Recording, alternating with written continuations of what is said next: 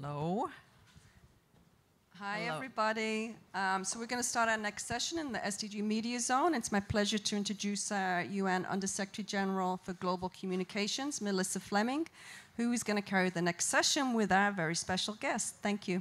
We do have a special guest, and I'd just like to say we're live today from the SDG Media Zone. And this is at the start, or it already started a couple of hours ago, a really important summit on accelerating the SDGs at the halftime moment. Uh, we are very hopeful that this occasion will bring the really needed finance that's, that uh, particularly developing countries uh, require to jumpstart and get back on track to ensure that we end poverty, that we ensure healthy lives, promote gender equality, which is what we're going to be talking about, but also really to tackle climate change. So I have a very special guest today, Natalie Portman, who is the, an Academy Award-winning actress. You all know that. But she's also a director. She's also an author. And she's an activist. Uh, welcome to the UN, Natalie. Thank you. I'm so glad to be here.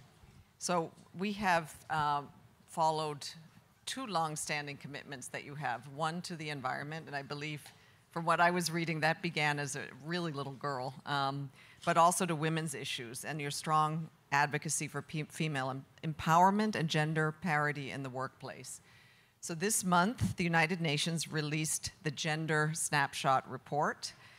It painted a worrisome picture um, on how far away we are from re- reaching gender equality by 2030. So, in your view, what can we do to shift these worrying trends? Well, I think investing in girls, in girls' education, in girls and women's safety, um, in girls and women's economic and social uh, empowerment, um, I think all of th- that focus, um, investing more in it, will will uh, of course accelerate the the drive toward parity. I mean, it seems obvious, right? Um, but it really is going to take people waking up to that need. Is there, from what you've seen, and I know you've um, worked for an NGO uh, that is supporting girls, uh, I believe, in Kenya and in other parts of the world, why are you seeing that? Is there an underinvestment in girls? Well, I think that we have very ingrained bias against women and girls that we really need to combat, and obviously education is a big part of that. And Spotlight Initiative that um, the UN launched in in 2017 uh, is addressing a lot of that cultural ingrained cultural um, biases that lead to the uh, these inequalities and injustices that we see. Yeah, I mean, so it is investing in education really key. Oh, investing in education and then educating everyone else so they can overcome biases. But you um, joined the Spotlight Initiative's session here at the UN on ending violence against women and girls yesterday. What did you say to the people there? Well, it really is such um, a, a core part of women's freedom to be free from violence and the threat of violence. And until women can feel and girls can feel safe walking down the street, going to school, going to work, um, nothing else can be achieved to the extent that we dream of. Um, so it seems like the, the, the first step is ensuring safety and ensuring freedom of, of movement and freedom of, of living so that women can be um, free to pursue their, their utmost potential. Yeah, exactly, 50% of the world. And now we have an online environment that has made another space very dangerous, or at least dangerous feeling and threatening feeling for so many girls growing up in the social media age. Is that something that you're concerned about? Oh, absolutely. I mean, the threat and danger that women and girls are subjected to in real life is just as bad, if not worse, online.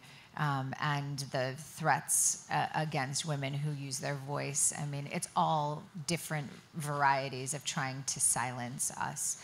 Um, and so I think the more we can support and celebrate women's voices and girls' voices, um, you know, the more we're combating this incredible, um, incredibly, uh, uh, you know, horrible abuse of power. Right. I mean, uh, you were very much behind Times Up. Um, so, what is it? What is what is so important for Hollywood, uh, women in the industry? Why is it so important for you to raise your voices? Because I think it goes beyond demanding that this cannot happen in the film business. It should go well, well beyond that. Well, it was incredible in Time's Up because we gathered with women in other industries as well. We gathered with farm workers and healthcare workers and women in journalism, women in tech, and we were all facing the same sorts of challenges, obviously in different locations or different flavors, but really the same, um, the same threat. And I remember the the head of the Farm Workers Union, Monica Ramirez, said to me, "They tell us to shut up because we're." in the shadows and nobody cares about us. And they tell you actresses to shut up because nobody cares. You're in the light. You're you know. And she's like but the the th- common thread is that they're telling all of us to shut up and they're trying to silence all our voices. And i think that was really the power of Tarana Burke's Me Too movement was that it was breaking out of that silence and it was empowering women to make their voices heard and not feel shame around these experiences and recognize that um, these were extreme injustices and that perpetrators needed to be held to account. Yeah, and many of them have. You think that that has changed things? I think that people are very aware of it now and that there isn't a sense that you can just abuse as you wish without facing any consequences. So, um, and I think that people talk about it a lot more and are a lot more open about it. We still have a far way to go, of course, but I think the Tarana Burke's movement really, really cracked open a door that is not going to shut anymore. Yeah, and indeed, it was uh, reported all over the world. It wasn't just a, a, U.S. thing. I think it provided women with the sense of hope and, and empowerment. But you've uh, been involved also in countries that are less rich and less pri- privileged. Are you i mean is there is it different for girls in, in countries that are developing? Yeah i think unfortunately women and girls around the world can relate to each other with facing violence and the threat of violence. I think that unfortunately that's that's present everywhere. But of course there's different um, manifestations of in different places some girls are you know threatened with violence for going to school, which of course in the United States we don't um, we don't experience. But in the United States, the number one cause of death for pregnant women is being murdered by their intimate partner. So there's you you see that that in different places, of course, you know, in Iran we're seeing women who are being murdered for exposing their hair. So really the thread is that women and girls are are being murdered and threatened and um, you know uh, abused uh, because of anything. You know, it almost feels it almost feels arbitrary the the reasons that they choose to commit these acts of violence. You mentioned, you know, at the beginning how important investment is, and you know, you became involved with this joint United Nations European Union initiative, the Spotlight Initiative. What brought you to this initiative? And is there anything you want to say that inspires you about it? Well, Natalie, another Natalie who uh, works at Spotlight, is uh, uh close to someone I'm I'm friends with, and that's how I got uh, engaged in um, in Spotlight, and their work is, has been really extraordinary in reaching many different countries to change laws, to implement educational tools to change culture so that you know masculinity is reframed as one of empathy rather than one of aggression and teaching young people about their, their rights and also supporting um, civil society organizations on the ground, a lot of feminist movements um, in countries so that the people who are doing the work on the ground, who know the country, are leading the, the, the work.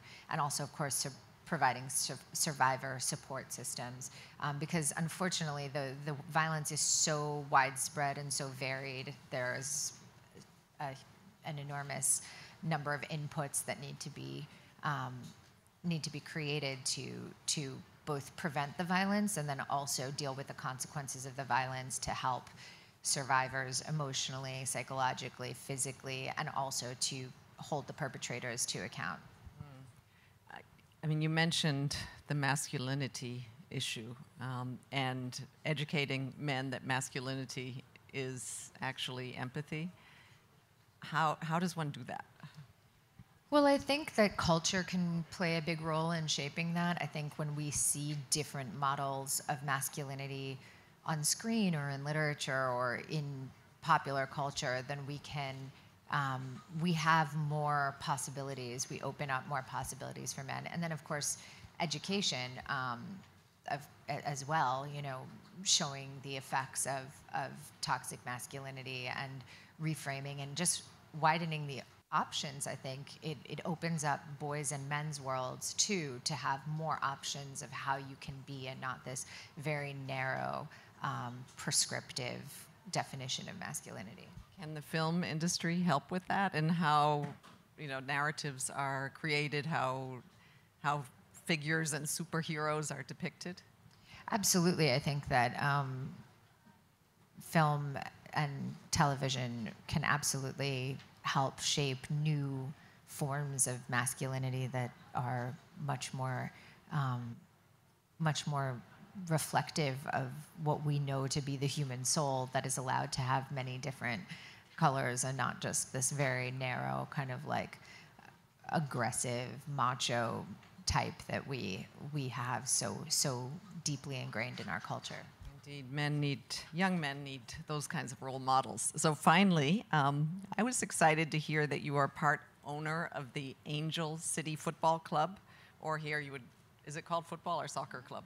Football club, yeah. Football club, and they made their debut at the Women's Soccer League last year. Can you Tell us a bit more about why you got involved. I mean, this sounds like a real empowering women uh, investment on your part. Absolutely. Well, it was it was very much out of this um, idea that I've been talking to you about about seeing both women and men in different ways than we traditionally have seen them. And when I saw my son watching the Women's World Cup four years ago, I realized that he looked to the women athletes the same way he looked to the male athletes. And I realized why don't we have this on a regular basis at home? And what a different world it would be if our boys and girls and all kids growing up could see women athletes given the value that they deserve like the men are. And so we've we started this women's football team in Los Angeles. Um, uh, to it's we we started playing two years ago,